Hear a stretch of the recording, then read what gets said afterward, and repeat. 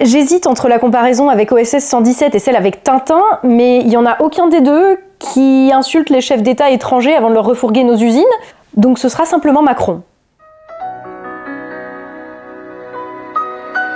Bonjour et bienvenue dans cette nouvelle vidéo, je suis Tatiana Ventose et je suis là pour rappeler ce qui s'est véritablement joué derrière la visite de Macron en Chine. Parce que les médias, toujours aussi objectifs et dévoués, ne semblent avoir retenu que ses déclarations bravage sur Taïwan à son retour, mais en réalité, c'est tout autre chose qui s'est joué car ces provocations, qui de toute façon ne pourront pas être suivies d'effets, donc on peut se demander si ce ne sont pas de simples effets d'annonce pour faire parler, ne doivent pas nous faire oublier euh, tout le cinéma qui nous a été fait sur les objectifs avec lesquels il était parti et qui ont, eux, lamentablement échoué. Et beaucoup plus grave, la communication présidentielle doit encore moins nous faire oublier que lors de la visite d'Emmanuel Macron en Chine, s'est produit un énième transfert de nos compétences et de nos chaînes de production vers la Chine, dont évidemment les Français vont faire les frais.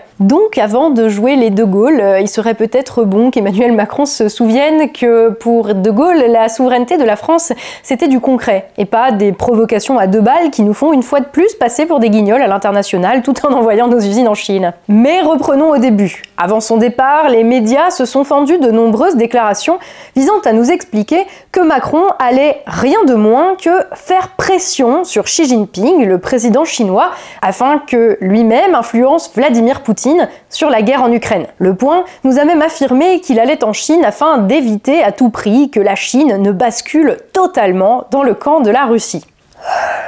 Alors je ne sais pas comment leur expliquer.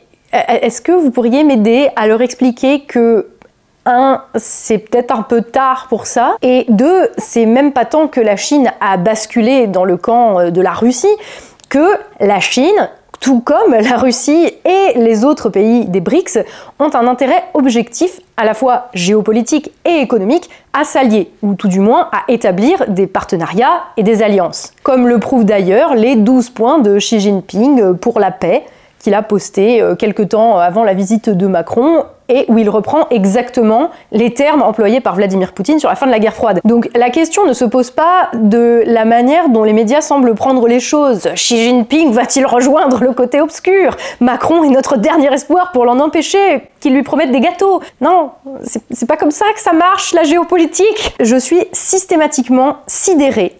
À chaque fois que j'allume la télé, je suis sidérée par l'aveuglement de la classe politique et médiatique française sur ce qui est en train de se passer à l'échelle internationale et que la plupart des gens normalement constitués dans ce pays ont très bien compris. C'est la fin de la mondialisation, c'est l'émergence de nouvelles puissances dont la Russie et la Chine qui sont euh, en gros les deux principales parmi d'autres, nouvelles puissances qui ne dépendent plus de l'Occident, c'est-à-dire euh, nous, parce que, devinez quoi, la bourgeoisie au pouvoir en Occident leur a envoyé toutes nos usines et toutes nos compétences en se disant que ça allait leur rapporter du pognon. C'est ce qu'ils ont fait ces 50 dernières années. Et donc, à la fin, les BRICS, et tout particulièrement la Chine d'ailleurs, ont développé leur capacité de production des biens essentiels. Non seulement à des biens essentiels à leur survie à eux, mais également des biens dont les pays occidentaux, tout heureux des délocalisations et de la mondialisation, eh bien, euh, ont toujours besoin.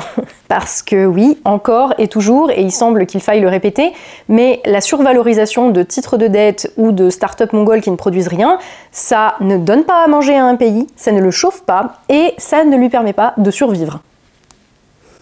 C'est la, base. Hein.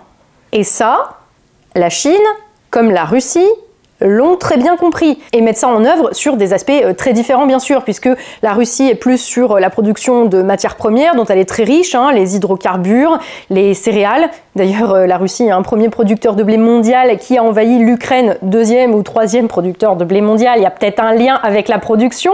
Et la Chine plus bah, en jouant sur son industrialisation, et les capacités de production industrielle que euh, la bourgeoisie occidentale, donc américaine et européenne, était bien trop heureuse ces dernières décennies de délocaliser chez elle dans le cadre de la mondialisation, au détriment, bien entendu, euh, des peuples euh, occidentaux et d'une majorité aujourd'hui croissante de la population des, des pays d'Europe et d'Amérique du Nord. Et ce qui se passe, c'est que au fur et à mesure de ce processus, euh, les BRICS, et notamment la Chine et la Russie, se sont indépendantisés. Aucun des deux n'a aujourd'hui plus besoin de l'Europe, ce qui n'était pas le cas il y a 20 ans. Et les BRICS, aujourd'hui, sont dans une démarche, oui, c'est ça, d'indépendance vis-à-vis de l'Occident. Et notamment euh, des États-Unis, hein, puisque c'est quand même eux qui dominent le jeu mondial depuis la fin de la guerre froide. Parce que l'Europe est toujours euh, quand même, euh, depuis, depuis 45, l'Europe est quand même bien à la remorque des États-Unis. Mais voilà ce qui se joue aujourd'hui en résumé à très très gros traits, bien sûr.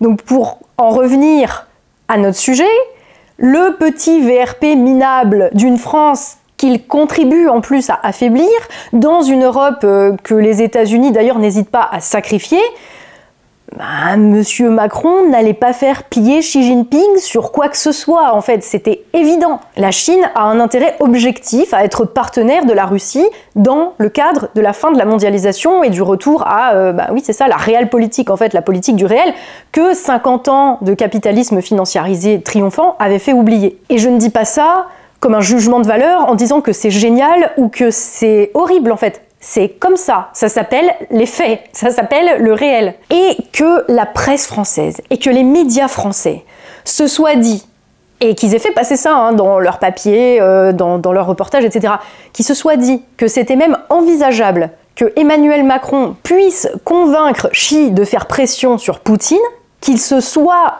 dit que c'était possible, en fait, ça en dit très très long sur leur niveau de compréhension de ce qui se passe au niveau international. C'est-à-dire rien. Et ce qui est fou, c'est qu'il y a beaucoup de monde qui le comprend, ça. J'ai l'impression que tout le monde le comprend, sauf les gens qui sont censés nous expliquer ce qui se passe, à savoir les médias et les gens qui sont censés agir dessus et prendre en prenant ça en compte, à savoir les politiques. Tu te rends compte que dans l'article du Point que je viens de te citer, le Point se demande même si Macron devra, je cite, brandir la menace de sanctions contre le président chinois. De sanctions mais, de sanctions contre quoi? Sur quoi? En plus d'avoir arrêté d'acheter le gaz russe, on va arrêter d'acheter tout ce que les Chinois nous fabriquent Mais on peut pas, mon coco Pour se permettre ça, faudrait d'abord qu'on produise nous ce dont on a besoin ici. Mais visiblement, quand tu parles de ça, tout de suite, t'es es rangé dans le camp des nationalistes, fascistes, complotistes, populistes. Donc évidemment, en fait, euh, leur logiciel intellectuel ne leur permet pas de comprendre ce qui se passe. Donc c'est de plus en plus délirant. Parce que c'est pas de bol, hein, vu que c'est grâce à Macron et euh, à la classe dont il est euh, là aujourd'hui, juste le dernier, euh, dirigeant en date, hein, mais de, la bourgeoisie financière mondialisée.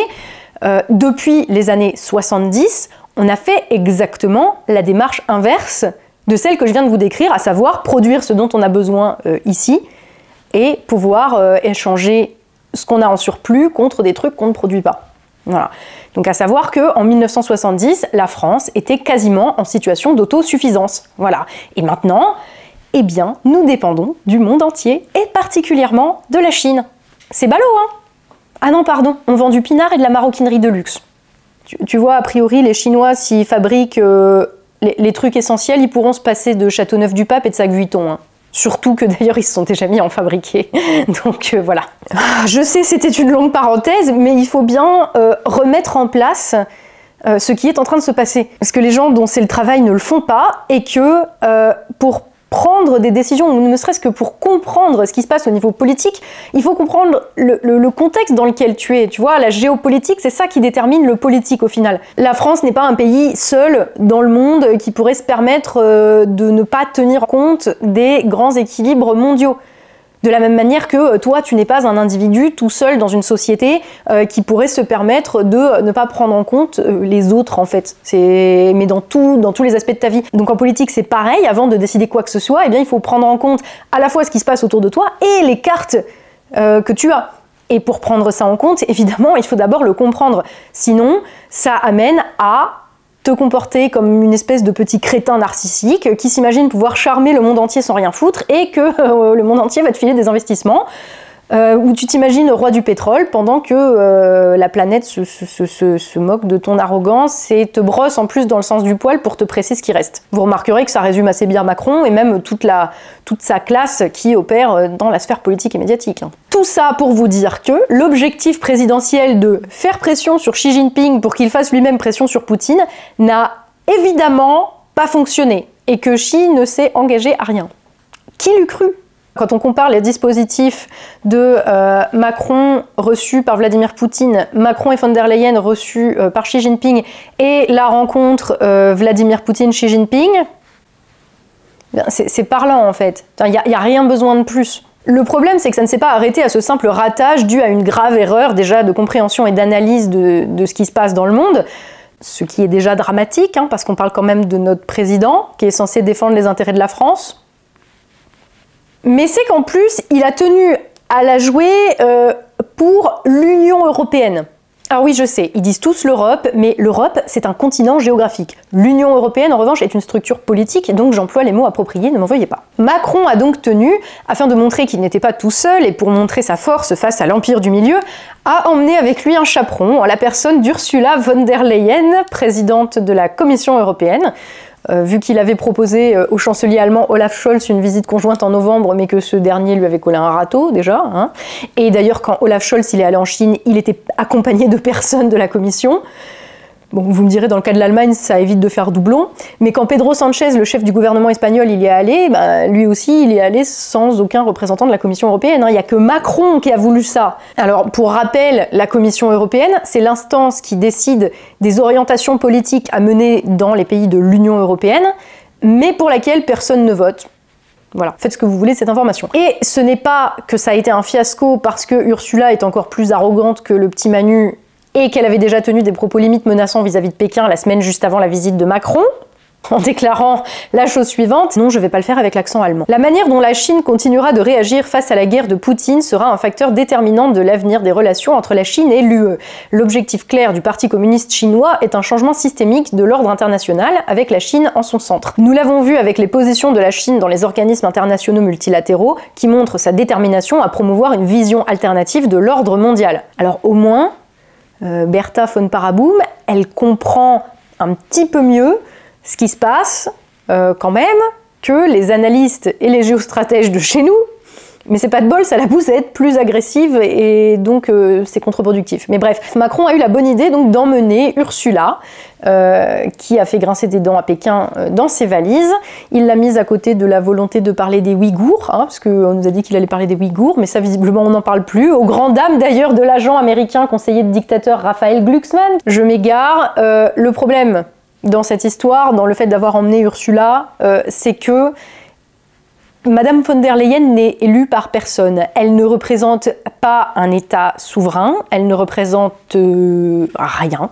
Voilà, elle représente la Commission européenne. Et c'est pour cette raison que euh, Xi Jinping ne l'a pas considérée comme une chef d'État et que donc il ne l'a pas reçue euh, comme une chef d'État. Et il a ostensiblement réservé au président français le protocole normal pour une visite d'État. Et la Chine, là, montre que, comme la Russie, elle préfère traiter avec les États de manière euh, bilatérale plutôt qu'avec des entités supranationales qui ne représentent euh, rien, personne. Et donc voilà, petit faux pas un peu protocolaire. Euh, von der Leyen a dû rentrer chez elle en avion par la voie normale réservée aux gueux plutôt que par la poutre de cheminette, ce que a priori elle n'a pas aimé du tout. Et oui, tu sais que c'est grave quand c'est le président de la Chine qui te donne une leçon de souveraineté. Et alors si le fait d'emmener avec lui Ursula von der Leyen était déjà complètement inapproprié, euh, le souci, c'est que Macron nous a encore une fois fait l'honneur de nous faire passer pour des gros glands sur la scène internationale en enchaînant les faux pas protocolaires. À ce stade, c'est devenu une habitude. Hein. Vous, vous, souvenez, il y a quelques semaines de sa tournée en Afrique, quand il avait fait Tintin au Congo, qu'il avait insulté le président euh, congolais Félix Tshisekedi avant de terminer dans une boîte de nuit à Kinshasa avec des jeunes autochtones? Ce, type a des tas de problèmes. J'aurais de la peine pour lui s'il n'était pas président de la France. Et puis je vous rappellerai pas la, visite de l'an dernier au Burkina Faso où il s'était moqué du président parti réparer la clim. Alors Macron en Chine, on n'est pas sur le même niveau d'arrogance, hein, mais il a quand même pas manqué d'en faire au moins une. Euh, en parlant deux fois plus que son homologue chinois, ce qui est un faux pas protocolaire majeur et qui a été à la fois remarqué et pas du tout apprécié par Pékin.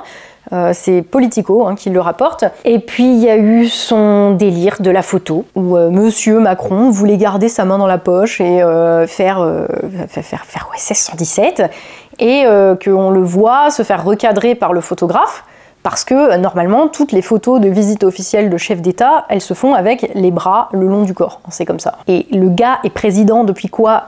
6 ans? J'ai l'impression que ça fait beaucoup plus. Et il fait semblant de pas savoir ça. Mais alors, il se fait recadrer. Mais malgré tout, sur ses réseaux sociaux, il n'a pas posté la photo protocolaire officielle. Il a posté la photo où il joue les ados attardés qui veut se distinguer avec la main dans la poche. Non mais c'est pas grave, hein. c'est juste symbolique de ce qu'est Emmanuel Macron. J'ai mal rien que de penser à encore combien de temps la France va faire les frais de ce type tout ça parce qu'une classe moyenne en effondrement a préféré le faire élire lui pour éviter soi-disant le pire. Enfin bref, le pire justement je ne l'ai pas encore évoqué par rapport à cette visite parce que Macron n'est pas uniquement allé là-bas pour faire le kéké, hein. il a aussi été vendre la France. oui, un VRP ça fait de la vente. Il avait emmené avec lui quelques dizaines de patrons d'entreprises françaises comme Airbus, Veolia ou L'Oréal afin de signer des contrats, ce qui a été fait. Alors vous me direz, c'est chouette, parce que normalement, quand on négocie un contrat, surtout euh, quand tu es président de la France et que tu euh, des patrons de grandes entreprises avec toi, euh, la France est censée y gagner quelque chose. Bah là, on va y gagner que Airbus va doubler sa production en Chine en ouvrant une deuxième ligne d'assemblage près de Pékin. Alors euh, ils peuvent bien leur livrer 50 hélicoptères, hein. à la prochaine visite ils se mettront d'accord pour les fabriquer là-bas de toute façon. On y gagne que EDF euh, s'est mis d'accord avec le géant du nucléaire chinois pour reconduire leur partenariat qui court depuis 2007 sur la conception, la construction et l'exploitation des centrales nucléaires en Chine, et que c'est notamment grâce à ce partenariat que la Chine a pu construire et mettre en service le PR2 à Taishan, donc la seule installation de ce type dans le monde. Genre, on n'est pas capable de construire des EPR ici, on te dit qu'on va peut-être te couper le courant, mais EDF met sa recherche et développement pour fabriquer des centrales nucléaires de dernière génération pour les Chinois. Et puis grâce au transfert de technologie de la France, la Chine maîtrise maintenant toute la technologie du secteur, au point où c'est elle qui exporte des centrales et qu'elle dame le pion à la France qui fait des centrales plus chères. Ouais. Voilà ce qu'on y a gagné. Donc on a aussi gagné que euh, le, contrat entre euh, CMA CGM, donc euh, le numéro 3 mondial du fret maritime, qui a conclu un accord avec COSCO, donc le numéro 1 chinois, et le port de Shanghai, pour leur fournir du biométhanol et de l'iméthanol, ce qui va leur permettre de décarboner le secteur maritime en Chine, la France, on s'en fout toujours, hein, voilà. Euh, il y a aussi Suez, hein, voilà encore ce qu'on y a gagné. Hein. Suez a signé un contrat pour, euh, pour un projet de désalinisation de l'eau de mer. Donc euh, c'est super, encore une fois, ici on te fait un éco-watt de l'eau et en même temps, nos entreprises vont bosser pour aider la Chine à se fournir en eau douce, le tout avec la bénédiction et sous la houlette de notre président. On, y gagne plein de trucs hein, quand même. Hein. Il y a aussi L'Oréal qui a signé un contrat qui établit un partenariat avec euh, le géant Alibaba, donc de l'e-commerce, euh, en matière de consommation durable de cosmétiques. Je n'ai aucune idée de ce que ça veut dire, je pense que Macron non plus. Euh, et d'ailleurs, c'est pas le seul contrat signé par L'Oréal lors de la visite de Macron en Chine, car ils ont aussi signé un contrat avec un consortium de Shanghai pour développer à Shanghai une plateforme d'incubation ouverte à des startups cosmétiques françaises.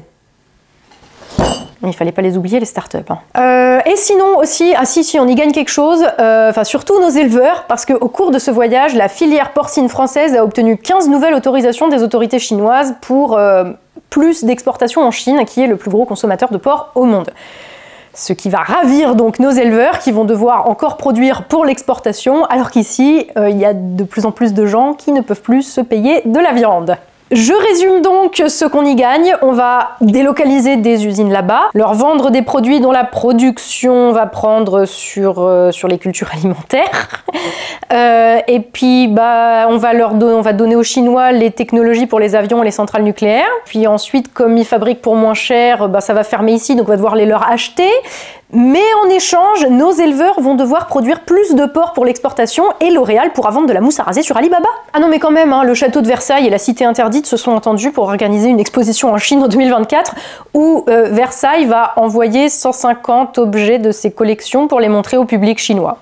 Donc, euh, si je résume bien, le président français emmène des entreprises françaises en Chine. Les entreprises françaises en tirent quelque chose, de la réduction de coûts de production et du profit de court terme essentiellement. La Chine en tire quelque chose, des biens matériels, mais surtout des capacités de production et des compétences et du savoir-faire industriel. Macron y gagne qui fait le kéké comme d'habitude, mais la France, dont les intérêts sont supposés être représentés par le président français, elle y perd.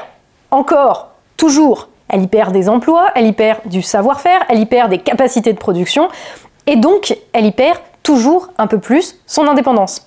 C'est dommage, hein Encore un transfert de compétences et de savoir-faire, encore un transfert de moyens de production. Voilà, le, Mozart des VRP. Hein. Lui, il appelle ça des partenariats. Moi, j'appelle ça enfler son pays au profit de sa classe euh, bourgeoise et au profit de la Chine qui, euh, qui sont assez euh, malins pour, pour, pour, prendre ce qu'ils ont à prendre. Enfin, je veux dire, moi je serais la Chine, je, tu vois, je verrais un, mec se ramener pareil comme Macron ou comme les dirigeants qu'on a depuis 40 ans, je, je, dirais oui, oui, je prends. Tu vois, c'est. voilà. C'est, je vais pas dire que c'est pas la faute des Chinois, tu vois, mais. C'est quand même vachement la faute de nos dirigeants, quoi. Et d'ailleurs, c'est pour ça que Xi Jinping a toléré les, insultes et les faux pas protocolaires. Parce qu'il sait, contrairement à Emmanuel Macron, que ce qui compte, c'est pas d'avoir l'air cool sur ta photo de classe, c'est combien d'avions tu produis, combien de centrales nucléaires tu produis sur ton sol, comment tu arrives à nourrir et à chauffer ta population. ça, paraît être la base, hein Mais il faut. Ils entendent pas, enfin, en tout cas chez nous, hein voilà. Et derrière, en plus, Macron revient de Chine en te parlant de souveraineté. De souveraineté Enfin, attends, il parle de souveraineté européenne. Oui, mais moi aussi, ça. Il hum, y, a un truc qui va. Oui, non, il y a un truc qui va pas. L'Europe, c'est pas un pays, hein. Voilà.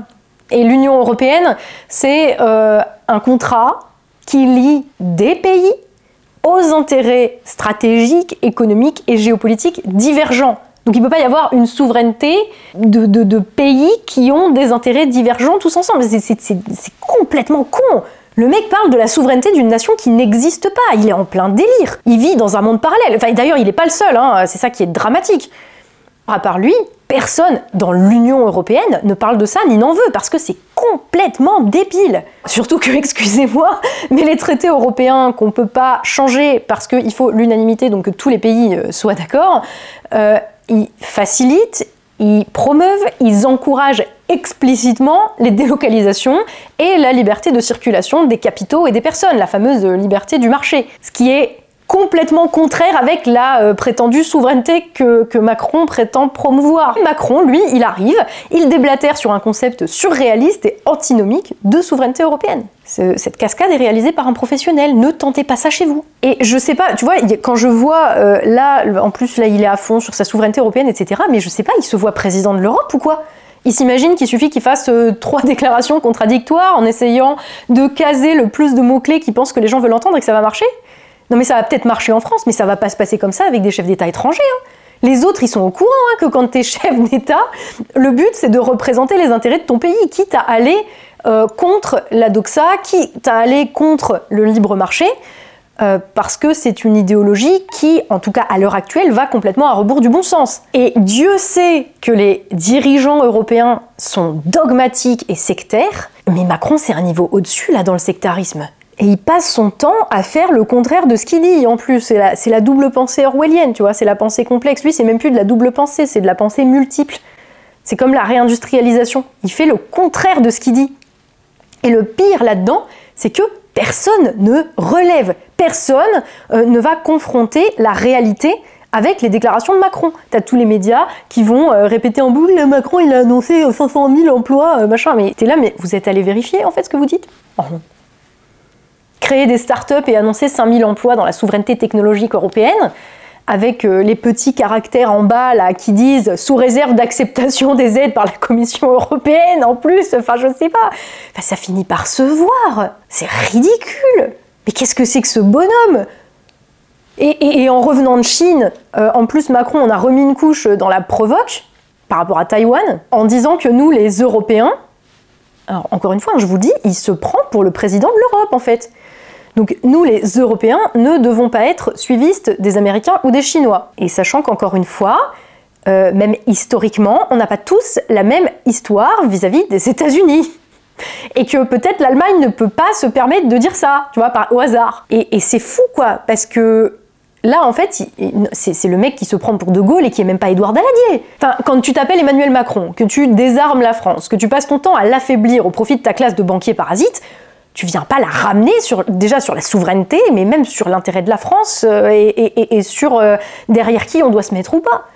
Et surtout si c'est en plus pour te mettre à dos tes prétendus alliés en faisant des déclarations aux antipodes de ta politique. Parce que euh, ça a pas été méga apprécié parmi toute la team atlantiste là. Hein. Après, les officiels de Washington ont balayé ça d'un revers de main en disant oui, non mais c'est bon, parce que ça commence à se voir en fait que Macron n'a même plus les moyens de bluffer sur ses ambitions. Tu peux te permettre d'être non aligné quand tu es souverain, quand tu produis en France ce dont tu as besoin en France, et que tu produis un peu plus pour échanger ça avec d'autres pays qui produisent ce que tu n'as pas mais dont tu as quand même besoin. Et ça, De Gaulle l'avait extrêmement bien compris.